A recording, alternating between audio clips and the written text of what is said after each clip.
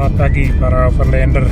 Sekarang kita menuju ke Jakarta. Jadi hari ini mau ngurus CPD. CPD itu karena di pasar di Duana. Maksudnya gini, kalau kita ingin berkendara ke luar negeri, itu ada satu surat, satu dokumen yang mesti kita urus untuk kendaraan kita, itu di CPD. Nah, sekarang kita akan ke Jakarta, ke kantor IMI, Ikatan Motor Indonesia, dan di sana kita akan mengurus. Ikuti terus ya supaya kalian para overlander tahu cara mengurus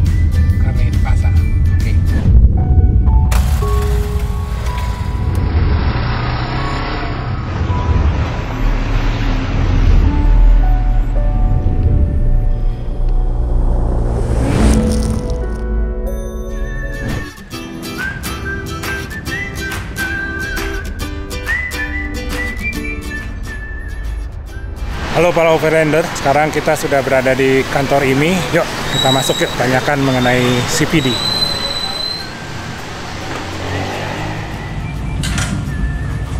Selamat pagi, Pagi. Bu Patricia. Gimana Selamat kabar? pagi, Kang JJ. Kabar baik, Baik. Alhamdulillah. Gimana Kang? Ini Bu, mau nanya-nanya soal CPD. Siap. Teleponnya nih, Siap. mungkin bisa diterangin sedikit. Siap, silakan duduk dulu. Ayo, mari, mari. Eh, nama saya Patricia. Saya di ini sebagai sekretaris bidang mobilitas, Mobilitas. yang membantu orang-orang motoring untuk eh, mendapatkan CPD karena the passage. Karni de Pasar. Iya. Oke, mungkin mungkin boleh sedikit digambarkan apa sebenarnya guna Karni de Pasar ini? Ya, eh, jadi karena the passage itu adalah dokumen perjalanan kendaraan bermotor Iya. lintas negara. Lintas Bentuknya negara. Seperti ini, ya. Nah, kalau misalnya orang bepergian ke luar negeri menggunakan Mhm. paspor, Iya. kendaraan juga punya pak. Oh, gitu. Ini paspornya kendaraan. Oh, paspornya Ya, kendaraan. jadi Iya. sekarang mau ke mana-mana kalau mau touring lintas negara itu sudah gampang, nggak Hmm. perlu yang dokumen setumpuk di berhadapan dengan bea cukai. Cukup dengan ini dicap, stamp sudah bisa keluar. sudah bisa keluar. Iya, betul. Dan karena de pasar ini bisa didapatkan di Di Ikatan Motor Indonesia, di kantor Ikatan. Motor. Jadi di Ikatan Motor Indonesia ini eh, kita bisa mendapatkan Betul. karena de pasar. mengenai buku CPD ini dia loh CPD. buku Ya, CPD ini ini, ya. Carnet de Oke. Passage nah yang menerbitkan yang buat ini nih Ya. dari FIA langsung pak Dari Dari FIA. Paris. FIA itu Iya. Federation ya International Automobile Automobile. ya induk dari semua uh, Organisasi otomotif di dunia. dunia Karena pasar ini paspornya motor ini eh, bisa berguna di Motor mana dan aja? mobil. Di negara apa aja kira-kira? betul Ya. di semua negara yang juga menggunakan Carnet de Passage di sini tertulis juga di Oh, ada di belakangnya belakang ya, ya. negara-negara yang ada Asia, kemudian Europe, juga ada Afrika, Amerika, dan sekarang sudah lebih banyak lagi pak, sudah Oke. banyak update-update lagi. Oke. Jadi ini ya bagi masyarakat umum bisa ya mereka Bisa, apply bisa. dengan kendaraan. Betul, betul. Kira-kira persyaratannya apa aja? Persyaratannya pertama menjadi anggota ini dulu. Menjadi anggota ini penting. ya. Jadi anggota ini daftar secara online. Mhm. Setelah itu baru mengisi formulir untuk persyaratan CPD-nya Mengisi sendiri. formulirnya, ya, ya. Ah. Mengisi formulir, menyerahkan dokumen-dokumen yang dibutuhkan. Sangat gampang sekali Ya. menyerahkan kopian SIM, paspor, STNK, BPKB, surat SIM, faktur, paspor, ya, STNK, BPKB, faktur, surat faktur, foto kendaraan, tampak foto kendaraan. Ya, tampak depan, belakang, samping kanan, samping kiri. Oh, jadi ada empat fotonya ya. Betul. Depan, belakang, kanan, dan Betul. kiri. Foto nomor rangka, foto nomor mesin. Foto nomor rangka, foto nomor mesin. Ya, kemudian diserahkan ke kami untuk kami Ya. verifikasi. Setelah kami verifikasi, proses cetak. Jadi proses keluar. Ya. Nah, dari mulai pertama segala pemohon datang Mm-mm. ke ini lalu membereskan segala administrasinya sampai selesai kira-kira membutuhkan waktu berapa lama? Untuk prosedurnya sendiri setelah verifikasi dokumen adalah 14 hari kerja 14 maksimal. hari kerja. ya. Betul, 14 hari kerja. Namun bisa lebih cepat dari itu. Jadi untuk kawan-kawan overlander, jadi yang penting berkasnya komplit dulu, Betul. baru bisa diproses oleh itu. Ya. Dan untuk itu hanya membutuhkan waktu dua minggu 14 hari kerja. 14 hari kerja. Ya. Jangka waktu CPD tahun? ini sendiri adalah satu tahun. satu tahun. Semua ya. CPD yang dikeluarkan oleh FIA, semua negara yang menggunakan CPD jangka berlakunya adalah satu tahun Satu dan tahun. bisa diperpanjang satu kali saja. satu kali. Ya. Itu perlu diingat ya bahwa CPD ini hanya berlaku satu tahun dan hanya bisa diperpanjang satu Betul. kali. karena tidak boleh lama-lama jadi di luar negeri. Ya. oh ya, mungkin uh, untuk itu kita perlu biaya apa? Betul. Ya, uh, untuk di luar biaya menjadi anggota ini. Jadi buku karne ini sendiri ada beberapa macam.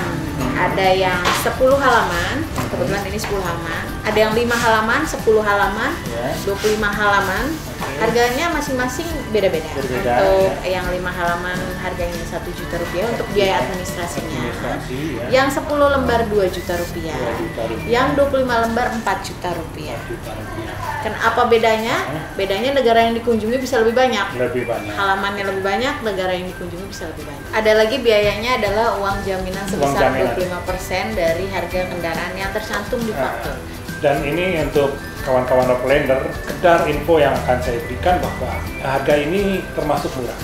Dan betul sekali Pak, memang harga di ini itu adalah harga paling murah. Ya. Karena biasanya uang deposit yang dikenakan di negara-negara lain, contohnya di London itu 300%. Ah, di Malaysia waktu dulu sempat 100%. Sekarang Singapura Malaysia udah nggak ada. Ya, sih Malaysia lagi belum re-establish mereka. Ah, cuma saat ini belum bisa mengeluarkan CPD. Ya, jadi eh, kita perlu, perlu bangga bahwa kita dibantu nih. Memang kelihatannya mahal ya kalau kita lihat rupiah, tapi kalau kita bicara secara internasional biayanya tidak mahal Betul. karena di di Inggris kawan-kawan Inggris itu sangat mengeluh karena mereka minimum mengeluarkan uang itu hampir 200 juta kendaraan apa pun Oke. di Inggris ya. Ya. Karena tadi 300 300 persen, Ya, ya. belum belum administrasi Betul. dan lain-lain. Makanya mereka mungkin berusaha ngambil di negara lain di Ya. Eropa. Ya kita terbantukan lah. Terima kasih banyak. Eh, untuk cara pengisiannya sih ini ada nama, kemudian organisasi yang menerbitkan, Hmm. kemudian masa berlaku.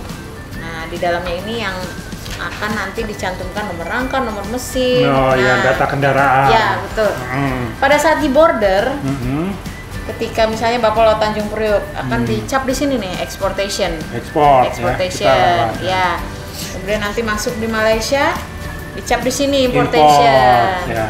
nah terus misalnya Kang JJ mau balik lagi ke Indonesia Ya. balik lagi ke sini Lagi, nah lagi, yang ini Kang. tidak boleh hilang Ya, karena ini karena adalah ini nanti bukti bahwa urutan sudah keluar masuk dari negara yang dikunjungi Itu tuh simple penting aja. tuh, penting Ya. tuh. Untuk tidak hilang. bagaimana kalau hilang Nah. mudah-mudahan jangan sampai ya Ya. hilang atau rusak atau diambil orang Ya. di belakangnya ini ada certificate of location Certificate of Ya, location. Ada satu lembar certificate of location. Nah. Jadi nanti ketika hilang ada kopiannya. Nah, Kita simpan untuk kopiannya. Hmm. Nanti lapor ke IMI Hmm. kalau misalnya buku CPD-nya hilang atau rusak atau kena Hmm, hujan hmm, hmm. sehingga sudah tidak bisa digunakan. Nanti akan di-stempel oleh bea cukai atau kepolisian di sana. di sana. Nah, berarti ini sebaiknya di copy disimpan Betul, ya paling belakang. Nah, ingat tuh. Itu Ya. penting banget. Kita memang nggak pingin ya barang kita hilang, tapi kan you never know what's going on gitu, apa Ya. yang terjadi kan. Jadi memang eh, itulah. Jadi ini yang paling belakang ini disimpan, difotokopi, disimpan. Bila rusak atau hilang, kita ke kepolisian setempat atau biaya cukai, Bang? Bea cukai boleh, kepolisian setempat boleh. Nah, pokoknya akan yang kita berwenang, ya. kirimkan kembali buku uh, Nah, yang baru yang sehingga baru, kan. uh, kendaraan misalnya mau keluar Ya. bisa menggunakan bisa menggunakan. Nah itu. Jadi itu yang selama ini kita banyak yang nggak tahu. Sekarang tahu nih dengan ini. Terus untuk uh, persyaratan udah, biayanya sudah, waktunya sudah. Saya rasa udah ya. Ya. Oke, kalau gitu. Terima kasih Bu. Ya, terima kasih banyak Kang JJ.